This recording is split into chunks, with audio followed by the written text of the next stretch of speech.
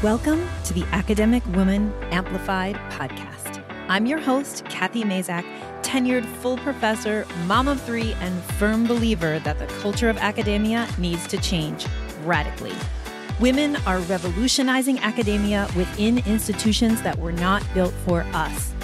If you're ready to reject the culture of overwork, kick guilt and overwhelm to the curb, and amplify your voice to make a real impact on your field, without breaking down or burning out, you're in the right place. And it all starts with writing. Let's go.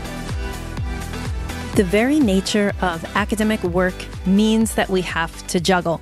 The three pillars of our work research, teaching, and service outline a daily working life where we are pulled in at least three directions, though in reality, it is many, many more. Academia is maybe the only career where you study for years and years, but your studies only partially prepare you for your actual job. Becoming an expert in your field does not necessarily mean that you're prepared to do the everyday, day to day tasks of academia. For that, we need to learn academic project management. And that's what today's podcast is all about.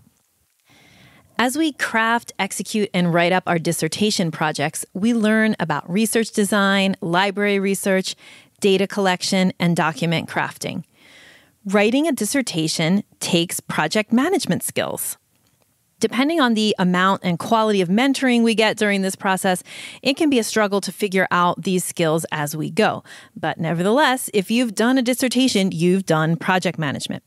However, you've done project management on one academic project.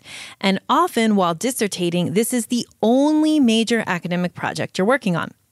Fast forward to the tenure track, and you are expected to manage the following academic projects simultaneously teaching new course preps, often more than one at a time, participating in service activities such as curriculum redesign, governing committees, and all of that, mentoring students, running a lab or research center, writing and submitting grant proposals, writing and publishing articles and books, managing a publication pipeline. Do I need to keep going? right? We're supposed to do all of these projects, major projects, at the same time. Without a system for project management, you're going to feel overwhelmed and exhausted all the time, no matter how much progress you're actually making. And what's worse, you're not even really supposed to talk about this, since asking for help and admitting you don't know how to do something are big no nos in the ridiculous culture of academia.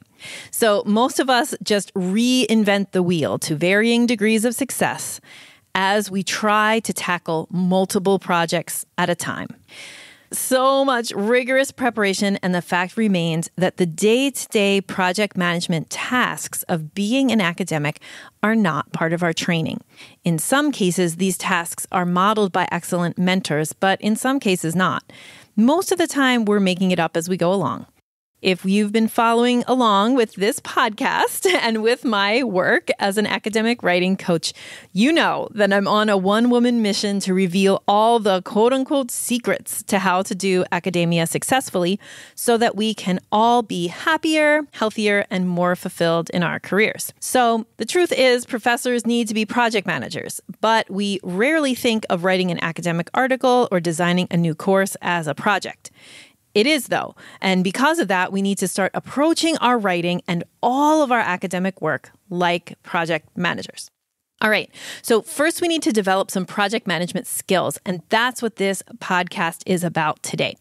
So, are you ready? We're going to talk about the basic skills of academic writing project management. Now, what we talk about here, once I go through some of the skills of writing project management, you're going to see how these same project management skills can be used in other areas of your academic life. All right, so I have several things here to talk about.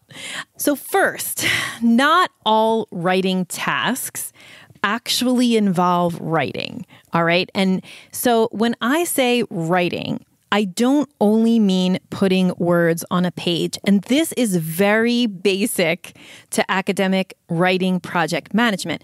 If you only quote unquote count writing on a page, words on the page, you're missing a lot of the tasks that it takes to complete an academic project. And I mean pre sitting down to write tasks and post sitting down to write tasks. So a writing project involves all of the things that you must do to complete it. So, yes, when I say writing, I mean reading, collecting data, analyzing data, creating charts and graphs, proofreading, all of that stuff. By thinking about all of these things as writing, then you can feel happy that you're making progress towards your publication goals when you are. This is super important because a lot of us feel like we have to do what I call pen to paper or cursor to screen writing for it to count. And that is just not true. In fact, when we take that kind of myopic view of writing, we are not looking at our writing like a project manager. A writing project is bigger than that. It has a lot of moving parts. And that brings me to the second project management basic for academic writing, which is the difference between a project and a task. Here's a common writing mistake that you should stop making right now putting projects on your to do list instead of tasks. So raise your hand if you have been doing this, writing a project like finish article on your to do list, and then being so sad because it just keeps going to the next day's list and the next day's list for, I don't know, how long does it take to write an academic article in your field? Six months, a year? You're setting yourself up for failure if you are putting a project on your to do list instead of a task. So we really need to master this project versus task distinction. That means that what you need to do is break your writing projects into tasks. Then your tasks go onto your to do list. So this sounds simple, right? But almost everybody struggles with this. So that's what I'm going to dig into right now. The first step to managing your academic writing projects is to know the difference between a project and a task. Okay, so here we go. Projects are big, like writing an article, doing a book proposal, writing a grant. Tasks are small, like write the introduction, investigate competing titles, create the grant budget. Tasks are what we put on our calendars or on our to do lists. Projects are what we put on our publication pipelines. There are some project management skills we need to kind of hone here. First, you need to be able to break a project down into tasks. That's a project management skill that you need to work on. All right. When coaching academic women on their publication strategies, I've found that many don't take the time to break the project into tasks and or don't have a realistic picture of how long it will take them to complete each task. To solve the first problem, you need to actually dedicate time to project management. That is, you need to schedule time to break a project into tasks so that then you can schedule out those tasks. Obviously, I think this gets easier with a system. It gets easier the more you practice it. And it definitely gets easier if breaking a project into tasks can be templated.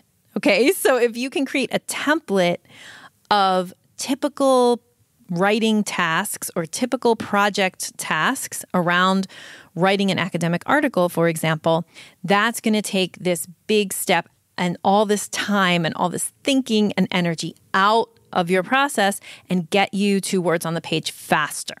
So, to save time and energy, you want to create templates of the tasks necessary to complete common writing projects that you do. That way, you're not reinventing the wheel every time you start a new writing project. Okay, so I use Trello for this, but you could use whatever kind of project management software you want, or you could just use a piece of paper and a list or a Google Doc or something like that. I'll be telling you more a little bit later about how I manage projects with Trello. All right, so once you've gotten this concept of breaking projects into tasks, you need to start to hone your skills at estimating how long tasks will take. Okay, so you've got your task list. how long is it going to take you to complete each task? Well, no one can tell you how long it will take you to complete a task. Variables include how fast you write, time of day or energy level when you attempt to do the task, complexity of the task, ability to focus, momentum, among other things. So, your ability to estimate how long it takes to complete a task will get better with time as you practice and put some energy and focus behind it. That said, most people underestimate how long it will take them to do something. No, I'm not talking about you. Don't take it personally. the danger of this underestimation is that you start to feel bad about your writing and your process because you keep underestimating. And so that means you keep not checking tasks off your list or not reaching your goals. And this leads to guilt and overwhelm. And we know that guilt and overwhelm are writing's two biggest enemies. So, what happens? You underestimate how long it's going to take you to do something. You start to feel bad because you feel like you never get anything done. You write less, you lose confidence, and yuck, it just feels awful. So, we don't want to do that. Instead, I want you to actually overestimate the time it will take you to do tasks. You need to create a positive feedback loop between you and your writing. To maintain and perpetuate positive feelings about your writing tasks, you need to feel like you are winning, that you're checking things off the list, that you're moving projects forward, that you're creating momentum but you need to proactively set yourself up to win at writing. If you overestimate the time it takes you to do a writing task, then you finished early and yay, that's what you want. All right, let's talk about task size. All right. So, part of learning how to do this, learning how to break a project into tasks, is figuring out at what level of granularity do we want to break down a project into tasks, right? Because if we get too granular, we might end up with a huge list of tasks that feels overwhelming in itself. So we don't want to do that either. So let's do an exercise, okay? Let's start here. Let's just create the rule that tasks should take less than an hour. All right, so you might be thinking, yikes, less than an hour. Yes, here's why. By putting an arbitrary time limit on tasks, an hour or less, I'm forcing you to start with a time limit and then fit the task into it, instead of starting with a task and guessing the time it will take. Like all of my writing advice, I just want you to try it and see if it works. The purpose of this exercise is self knowledge. Okay, so it's playing with the size of tasks, how far you want to break something down in order to find out what works best for you. Okay, so we're going to start out with this arbitrary limit of tasks should take less than an hour. So here's how this looks in practice you identify a writing project. Let's say it's a revise and resubmit. Your first list that you make is going to be a rough list of tasks. So take about 30 minutes to really look at your article and the feedback that you got and create a list of tasks that you need to accomplish. Okay, now fold a piece of paper in half and then in thirds, making a paper with six squares on it. Each square represents one hour. You can use as many of these papers as you want, okay? Take your task list and map it into the one hour blocks. Some tasks will take less than an hour, and so you can fill in the box with a few tasks. You'll also notice that you wrote down tasks on your first list that will take more than an hour, so you'll want to break those up. You don't need to do the tasks in the order that you wrote them in the boxes, okay? This is just what we're trying to do is figure out the size of tasks that work for you. Now that you have your tasks mapped out in one hour chunks, when you have an hour of writing time, you do one box and make a big X through it when it's done. As you do this exercise, you check off the tasks in the box and you note whether your time estimate was correct or not. You could do this by writing nailed it in all the boxes that you estimated your time correctly and try again in the ones where your estimate was off. Or you could even add a plus sign or a minus sign to the try again boxes to indicate whether you went over or under. Of course, You don't need to do this level of writing reflection every time you write something. Maybe do it once for each genre that you write this year. So, by genre, I mean an article, a chapter, a grant proposal, conference paper. This exercise teaches you your personal time estimation tendencies and helps you self correct them. All right, now that you've dug in a little bit about what is a task and how to estimate your time, now we need to talk about scheduling projects and tasks. All right, after you've broken down your writing project into tasks and you have some sense of how long each task will take, it's time to schedule tasks onto your calendar. So I recommend one of two methods to schedule tasks. Number one, actually give each task a due date. That's method one. Or method two is have a bank of tasks and then you have scheduled writing time or writing blocks on your calendar. And during the writing time, you pull from your bank of tasks. That's actually my preferred method. That's what I do. I have a bank of tasks, like a list of all the different tasks. And then in my calendar, I have my Tiger Time blocked off. And if you don't know about Tiger Time, you can go ahead and listen to episode two, which is all about that. So you've got your block of Tiger Time on your schedule, you go to your task list, and it's like a bucket. You pick tasks from the bucket. So, either way works, but be open to trying something new to find out what works for you. It's best to work one project at a time, but this is pretty much impossible in academia, right? We always have projects, multiple projects, in various stages of being done, whether we're talking about writing projects or projects writ large. So, what you want to do is actually work to create the illusion that you have one project at a time going on. So you want to strive to work on just one project and move it all the way to completion. But again, you know, one thing we can lose focus, right? Um, we have other projects that kind of jump up and then become seem to become more important. But what you can do there is you can schedule two week sprints or two week focus blocks where every two weeks you spend your writing block time, your tiger time, working on a different writing project, and you can cycle through them. What you want to avoid is what I call the buffet method of writing, which is that let's say you have five different writing projects in various stages of completion. And each time you have a writing block, you sit down and you do a little over here, a little over there, a little over here. And you never actually move a project all the way out. If you spend about two weeks of your writing time on one project, you can, like, the point is to significantly move the needle on one project and see how that goes. All right, so let's take a step back and think about writing project management as a system. So we want to systematize your writing project management and also your project management in general for all your academic projects. So here are some things that are going to help you really create a system.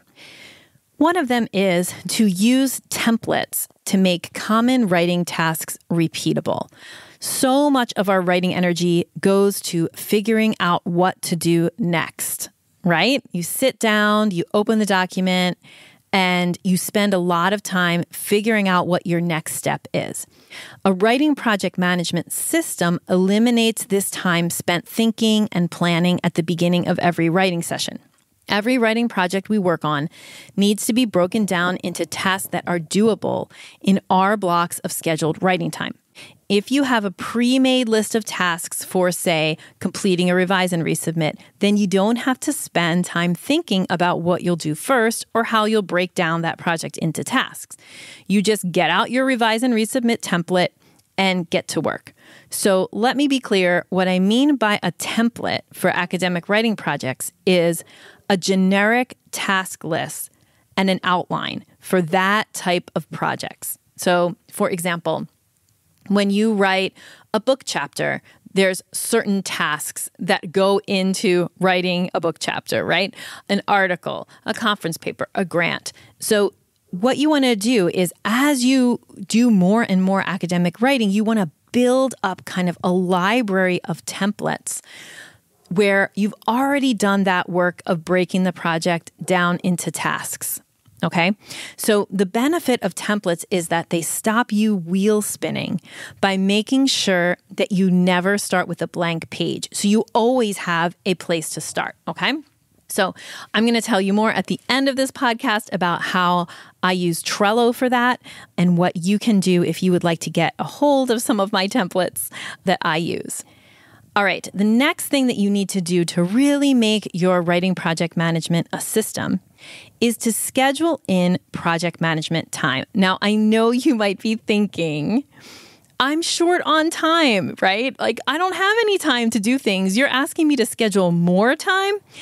So, what I want you to know is that even though it seems counterintuitive to schedule more time for project management, a short focus planning session will actually save you so much time and energy later. So, for example, take about 15 minutes on a Sunday evening and then 10 minutes at the end of your day, right before you pick up your bag and leave your office. That's the amount of time I'm asking you to devote to writing project management. In the 15 minute Sunday night session, you can look at the big picture of the week, page through your paper calendar or flip through your electronic calendar. Make sure that you have a way to capture the to dos that float into your head as you think about your week. And again, you can use Trello for this. You could use sticky notes in a calendar or a bullet journal. The idea is to begin your week with the big picture of what needs to get done. After you've seen the big picture, schedule into your calendar the first task that you will work on on Monday morning. That helps you not wheel spin and just get started. For example, I have a writing block scheduled on Monday mornings from 8:30 to 10 a.m. I don't wait until Monday at 8:30 to figure out what I'll be working on during that block. I figure that out in my Sunday project management time. So I go into Trello, I look at my writing projects, I figure out the task I'll work on during that block. Usually, this involves reviewing my academic writing project management template and identifying the next step. In the 10 minute end of day session, you look at what you've completed, pat yourself on the back for everything you checked off your list, let go of the things that didn't get done with grace and self forgiveness, and then choose the tasks that you will work on the next day. So, this small investment of time is really going to help you get momentum with a system that's going to save you time and stress and wheel spinning. So, the last thing that I want to tell you is to trust the system that you've created for yourself. Once you've set up templates for repeatable tasks and taken the time for project management, you need to trust the system and try it out for at least two weeks. So I confess that I love to make templates and I know that I need to plan project management time, but as soon as I get just a little bit stressed, I would push that all to the side. So to combat this, I've adopted the mantra trust the system. When I want to ditch the plan I made the day before in response to something new that's come up, I just tell myself, trust the system. I work on the things I plan to work on and deal with fitting in the new task when I get to my project management planning time at the end of the day. So, trust yourself. Trust that you made good decisions about what you should do when you were doing your project planning and breaking projects into tasks and creation of templates. Trust all of that work. Don't undermine it by then not using it. All right. So, throughout this podcast, I've been telling you about how I would let you know about the academic writing project management system that I use. Well, I use Trello, and I've actually created a course about how to use Trello to manage not just your writing projects, but all of your academic projects. And this course is called Organize Your Academic Life. I only open it for enrollment in September, and it is open now. So this week is enrollment week, and if you would like to enroll in this course, Organize Your Academic Life, you can go to cathymazak.com slash organize. In the course, I've made an off the shelf project management system for you using the very simple and free project management software tool called Trello. Inside the course, I walk you step by step through building the system with pre made templates for every kind of writing project you can think of, pre made templates and workflows for co authoring, for working with students, for reducing your email, the back and forth emails that we create when we work with students and co authors and committee members. So, if you would like all of that done for you, a complete off the shelf done for you system, that you can trust, you can go to cathymazak.com slash organize and register today. Registration closes on Friday, September 20th. So if you want to get your hands on this course and start organizing your academic life, then go to cathymazak.com slash organize and enroll today. Whether you decide to take the course or not, I hope that you implement some of the project management gems from this podcast. If you do, let me know in the I Should Be Writing Facebook group. Thank you so much for spending your valuable time loving on yourself and your writing by listening to this episode. If you'd like to continue the conversation, join the over 7,000 academic women in the I Should Be Writing Facebook group just go to facebook.com slash groups slash I should be writing or search for I should be writing inside your Facebook app. See you inside.